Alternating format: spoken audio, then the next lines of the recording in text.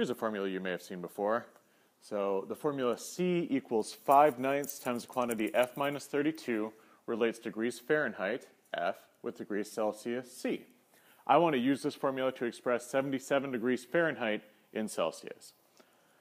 Okay, so the first thing I notice is I'm given a formula.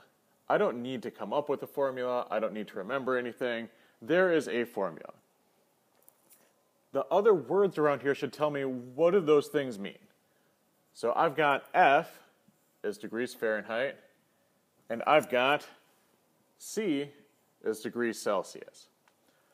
So I want to use this formula to express 77 degrees Fahrenheit. So this is 77 degrees Fahrenheit. So that's what I'm going to use for F.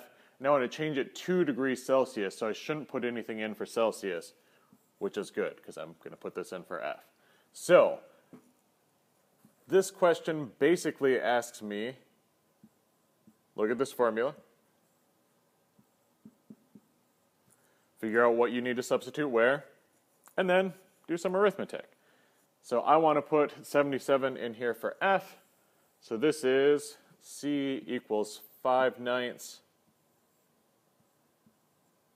times the quantity 77 minus 32.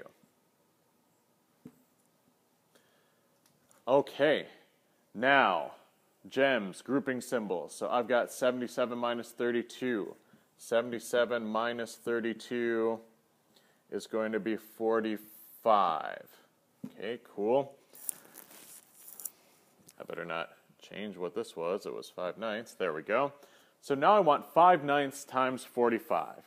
Well, I can either take out my calculator, which will do this for me great, or I can remember that 45 is the same as 45 firsts.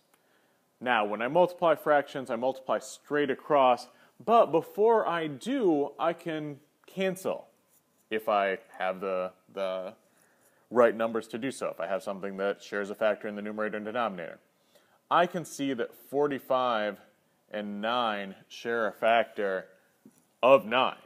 So I can divide this by 9 to get 1, and divide this by 9 to get 5.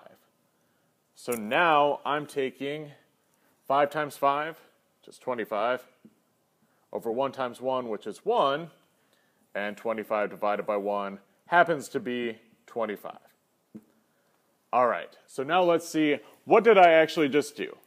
I found that 25 was what I get when I take this formula Wow. When I take this formula and put 77 in there for F. So that means when F is 77, C is 25. So I got that 77 degrees Fahrenheit is 25 degrees Celsius.